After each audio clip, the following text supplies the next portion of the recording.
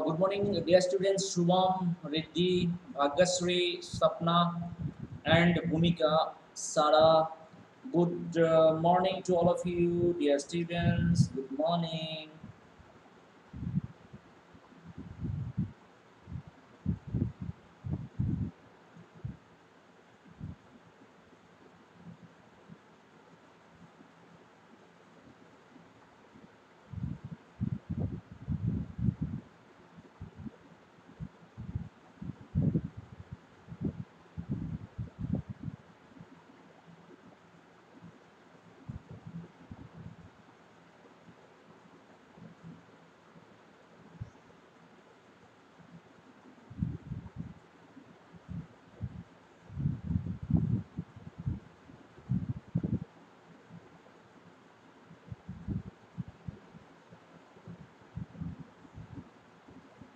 Okay, so dear students, today we are going to start a new lesson that is called In the Kingdom of Fools, right?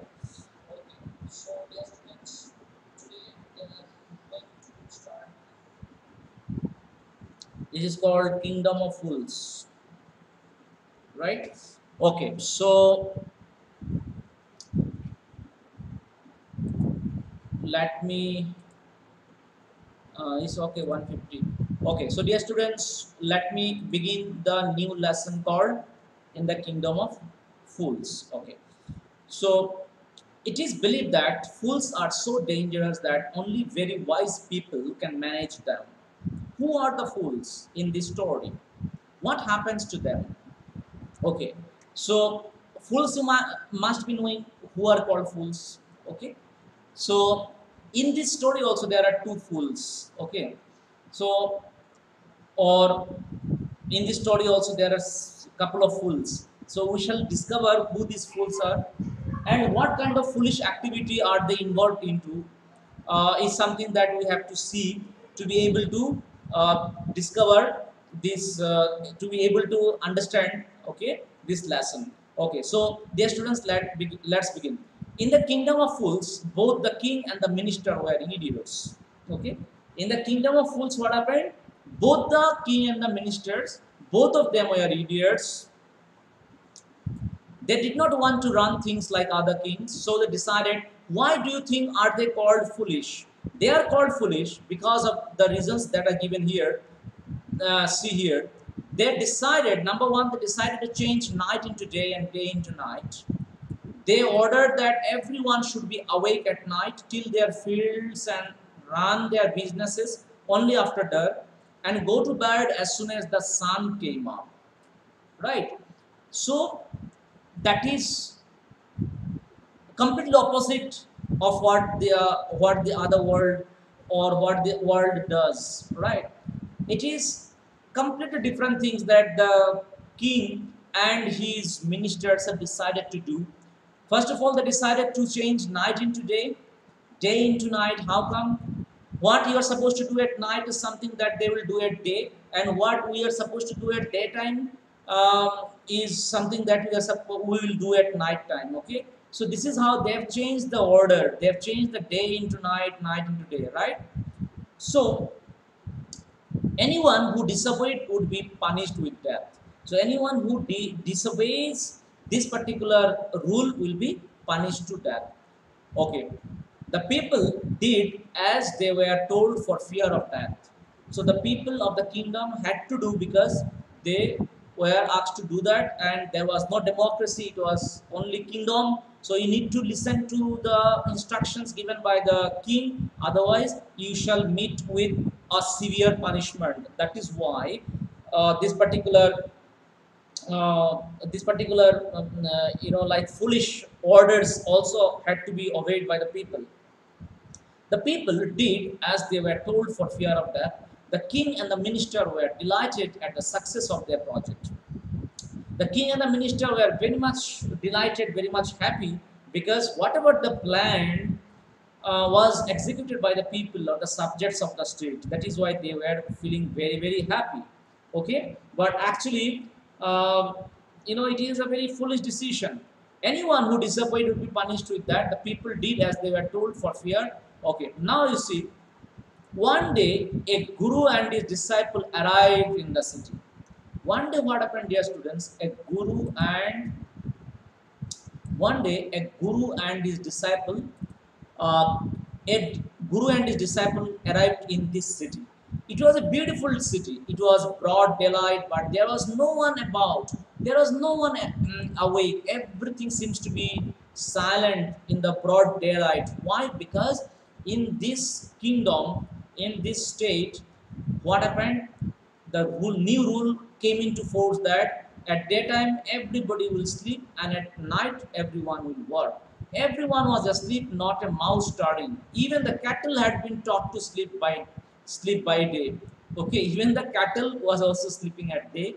The two strangers were amazed by what they saw around them and wandered around town till evening when suddenly the whole town woke up and went about its nightly business. Okay, so the uh, king and uh, so the guru and his disciple started roaming here and there, here and there, there in the city, and then evening came. And when evening started, everyone opened their shop and everybody came out of their houses. The two men were hungry. Now that shops were open, they went to buy some groceries.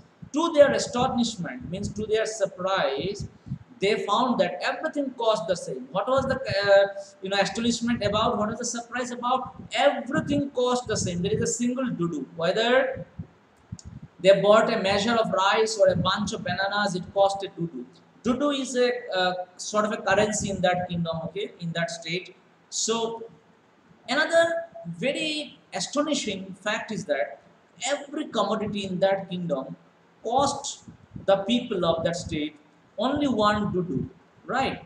Whatever you buy, uh, buy, if you buy a measure of rice or you buy a bunch of bananas, okay, uh, it costs you the same one duddu only, okay? So that is also one of the very, very surprising and astonishing, uh, you know, facts or astonishing things, astonishing things to be seen in, uh, seen in this particular kingdom, uh, which is governed by a foolish king and his uh, minister, right? So uh, usually it doesn't happen. Different things have different price tags, right? All the things don't have the same price tags. But in that kingdom of fools, what happened? Apart from what we have already uh, seen, another surprising thing is that everything, every commodity in this kingdom costs the same price, right? Uh, whether they bought a measure of rice or a bunch of bananas, it cost a duddu. The guru and his disciple were delighted they had never heard of anything like this. They could buy all the food they wanted for a rupee. They could buy all the food they wanted for a rupee. When they had cooked and eaten, the Guru realized that this was a kingdom of fools and it would not be a good idea for them to stay there. Right? So, Guru says, This is no place for us, let's go. Okay, Guru said to his disciple that this is not an ideal place for us to live so we need to take leave of this place. That is what he tells his disciple. But the disciple did not want to leave the place. Everything was cheap there. All he wanted was good, cheap food. So why did the disciple uh, refuse the instructions given by his guru? Because everything was cheap here. All he wanted was good. All he wanted was good, cheap food. That is, and everything is cheap here, want to do. That is why the disciple wanted to stay back uh, in the kingdom, whereas Guru wanted to leave. The Guru said, they are all fools. This won't last very long. They, they are all fool people and this system of purchasing everything at one duddu will not last very long because when they will realize that it's a great loss for their state, again they will uh, change the law, right? Uh, that is why you don't believe the system here, it will again change. You can't tell what they will do to you next. But the disciple would not listen to the Guru's wisdom.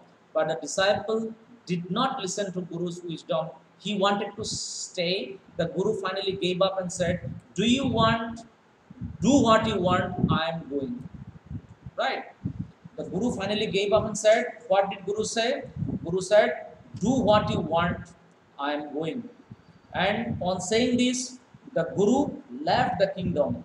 The disciple stayed on ate his fill every day bananas and ghee and rice and wheat and grew fat like a street side sacred bull, like a sacred, uh, like a street side sacred bull. The minister, uh, sorry, the disciple grew fat because every day he was eating banana, ghee, rice, and wheat. Everything was very cheap there, so he was eating with his heart's content. He was eating to his satisfaction. Uh, therefore, he grew as big as the street side sacred uh, bull. One bright day, what happened, dear students? One bright day, a thief broke into a rich merchant's house.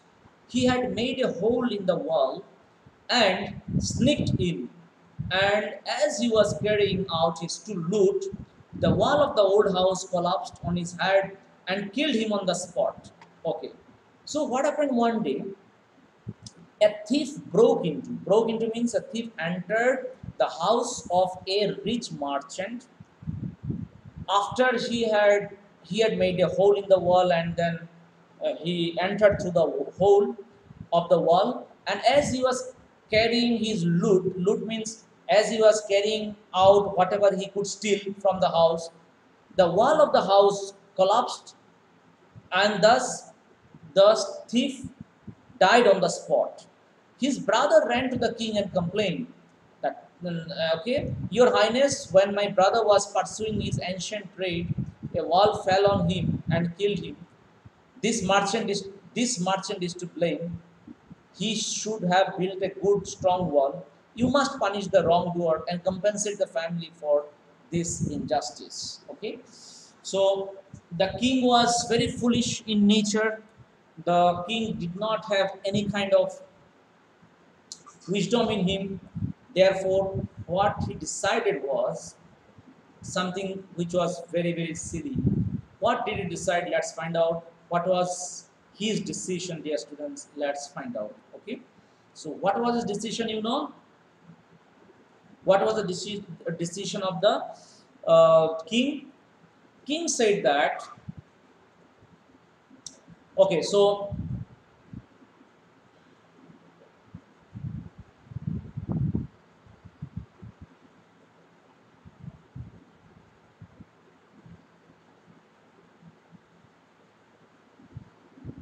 rich merchant uh, house a thief broke out and he had made a hole in the wall and with uh, through this hole the thief entered the house of the rich merchant and then as he was carrying out his loot the wall of the old house collapsed on his head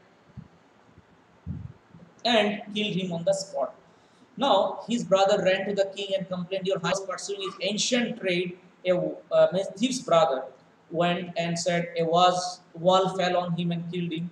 This merchant is to blame. Then the king was very much foolish, so he said, merchant is to believe, uh, blame because it was his house. Why did he make the world so fragile or so so so weak?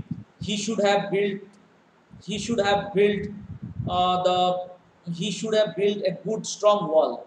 You must punish the wrongdoer and compensate the family okay compensate the family of the thief for this injustice the king said justice will be done don't worry and at once summoned the owner of the house so who was the owner of the house? It was the merchant who was who was summoned by the king. Okay. When the merchant arrived the king questioned him what is your name? Such and such your highness. Were you at home when the dead man burgled your house? Yes my lord. He broke in and the wall was weak. It fell on him. The accused pleads guilty. Your wall killed this man's brother. You have murdered a man. We have to punish you. Then the merchant in his defense said, Lord, I did not put up the wall. It's really the fault of the man who built the wall. He did not build it right. You should punish him. So he should not punish because it was not me who built the world. It was the Magian who built the world. So he should be blamed. Then the king, being foolish, so he uh, agreed to that. Who is that? My lord, this wall was built in my father's time. I know the man. He is an old man now. He lives nearby. The king sent out messengers to bring in the bricklayer who had built the wall. So the king sent out sent out messengers to bring the bricklayer who was responsible for building the wall. They brought him tied hand and foot. Okay, they brought the bricklayer in front of the king. You there, did you build this man's wall in his father's time? He was asking, Did you build? Did you build this man's wall in his father's time? Yes, my lord, I did. Bricklayer admitted that he has made the wall. What kind of a wall is this that you built? It has fallen on a poor man and killed him. You have murdered him. We have to punish you by death. The king said, You have to be punished by the, uh, you have to be punished. So you shall get capital punishment. That is, you shall be ordered to die. You shall be hanged. Before the king could order the execution execution means hanging order okay hanging. Before the king could order the execution um, the poor bricklayer pleaded. The poor bricklayer started praying to the god. Uh, i mean uh, not god pray, praying to the uh, king foolish king please listen to me before you give your orders it's true i built this wall and it was no good but that was because my mind was not on it I remember very well a dancing girl who was going up and down that street all day with her anklets jingling. And I couldn't keep my eyes or my mind on the wall I was building. You must get that dancing girl. I know where she lives. My goodness, see. Now, the bricklayer is trying to pass his fault to somebody else. Here, bricklayer said that there was a dancing girl who was dancing on the streets and with the sound of her anklets I got distracted. I could not focus on the bricklaying work okay while building the while making the wall uh, I was not able to focus properly. So it is the dancing girl who distracted my attention. So it was she who had to be held guilty of uh, uh, guilty, not me. Okay. Then the king, being foolish, he immediately accepted the uh, instruction or sorry, the request of the uh, bricklayer. He said, "You are right. The case depends. We must look into it. It is not easy to judge such complicated cases. Let's get that dancer where wherever she is." The dancing girl, now an old woman, came trembling to the court. Did you walk up and down that street many years ago while this poor man was building a wall. Did you see him? Yes, my lord, I remember it very well. So you did wake, walk up and down with your anklet jingling. You were young and you distracted him, so he built a bad wall. Uh, it has fallen on a poor burglar and killed him. Burglar means thief. You have killed an innocent man, you will have to be punished. She thought for a minute and said, My lord, wait. I know now why I was walking up and down that street. I had given some gold to the goldsmith to make some jewelry for me. He was a lazy scoundrel. He made so many excuses and said he would give it now and he would give it and so on all day. He made me walk up and down to his house a dozen times. That was when this bricklayer saw me. It is not my fault, my lord. It is the damned goldsmith's fault. Now, dear students, you see, it's very interesting uh, whoever is summoned before the king, whoever is called before the king, they are trying to pass the buck to somebody else. Means they're uh, trying to pass their fault to somebody else. And the king, being foolish, is also uh, is also believing their words. So that is where that is why the king is very innocent. I mean, uh, very foolish. Okay, he is a foolish king why whoever is summoned in his court, he is believing whatever they are saying. Okay, it means that he doesn't have any mind of his own. His mind is greatly influenced by uh, the other people, right? That is why he is a foolish king. So, the bricklayer passed the fault to the uh, dancing girl. The dancing girl now again passed the fault to another person. Who is that person? It is the uh, it is the uh, goldsmith to whom the buck has passed now. Okay, so the goldsmith now who has been held responsible by the dancing girl. So can you imagine the king doesn't have any intellect of his own. He is greatly influenced by the by the uh, by the mm, uh, decision of the uh, people of, of his kingdom, right? So he is greatly, uh, greatly influenced by their decision. Okay, so that is what is happening dear students that is what is happening. He is a very foolish person. He doesn't have his own intellect. He doesn't have his own mind. And whoever says something he believes in that. Now the dancing girl says that uh, you know there was a goldsmith. I had given him some gold to make for me uh, some ornament and he was a lazy scoundrel. He made so many excuses. I had to come to him time and again to remind him of my gold on gold okay? So it was he goldsmith was responsible because because he did not deliver the ornament to me in time. Therefore i had to come down to him time and again and uh, uh, it is not uh, and thus the my anklet made a lot of sound. So it is not me who can be held responsible. It is the goldsmith who should be held responsible for for for for for this particular incidents today. Okay not me. That was when this uh, and that was when this bricklayer layer saw me and that's how we got distracted uh, distracted. So it's not my fault. Uh, it's the fault of the goldsmith poor thing she's absolutely right. Thought the king. The king again changed his decision. He said this girl is absolutely correct. Okay? We have got the real culprit at last. Get the goldsmith wherever he is hiding at once. The king's bailiffs searched for the goldsmith. Bailiffs means the people uh, who take the command of the king, okay, from one place to another.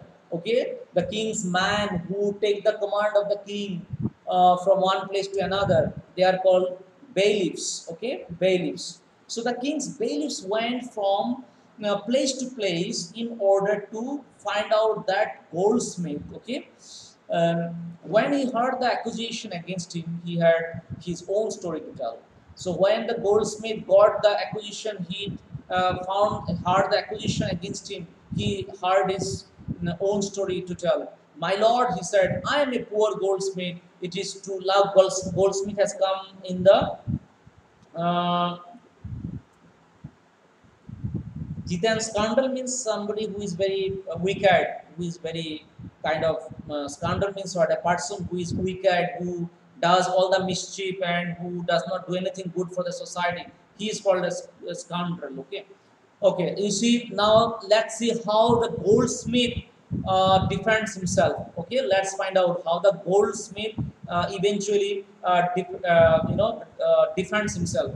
Goldsmith says, My lord, he said, I am a poor goldsmith. It is true I made this dancer come many times to my door. I gave her excuses because I could not finish making her jewelry before I finished uh, finish the rich merchants' orders. They had a wedding coming and they would not wait. You know how impatient rich men are. So Jewel Goldsmith is giving of uh, giving uh, passing the buck or passing the I mean um, passing the fault to somebody else here. Who is that? Rich merchant. Okay, see, the goldsmith is now passing the uh, fault to rich merchant. You know how impatient rich men are. So goldsmith, uh, goldsmith is saying that you know it is because of the rich merchant uh, I had to delay the order of the dancing girl because rich merchant uh, was expecting a marriage ceremony in his house and uh, he had he was pressurizing me to to deliver his jewelry uh, before that dancing girl jewelry. So that is how I got delayed and could not deliver the uh, jewelry to the uh, dancing girl and that is why she had to come down to me time and again. So it's not my fault it's not because of me that i got delayed it's because of the, the because of the nagging presence of rich merchant in my house that was responsible for the delay in delivery of the jewelry of the uh, dancing girl so you know how impatient rich men are. Who is the who is this rich merchant who kept you from finishing this poor woman's jewelry, made her walk up and down, which distracted this bricklayer, which made a mess of his wall, which has now fallen on an innocent man and killed him? Can you name him? The goldsmith named the merchant, and he was none other than the original owner of the house. So who was that merchant? He was none other than the original owner of the house whose wall had fallen. Now justice had come full circle, though thought the king back to the merchant. When he was rudely summoned back to the court, he arrived crying, It wasn't me but my father who ordered the jewelry. He is dead, I am innocent. Okay it's it's it's not me uh, who has ordered the you know uh, i mean jewelry to the goldsmith. It was my father who ordered. I'm innocent. My father is dead. Okay so this is where let us stop today dear students. Uh, we shall finish this story uh, tomorrow. Okay we shall finish it off tomorrow. It's very interesting story and this is where again you will find that the the, the fault has passed on to another person now okay the fault will pass on to another person now. Okay because the, merchant is has said ki, it's not me my father who has ordered uh, the uh, jewelry. Okay i'm innocent and my father is dead now so i should not be held responsible for my father's action.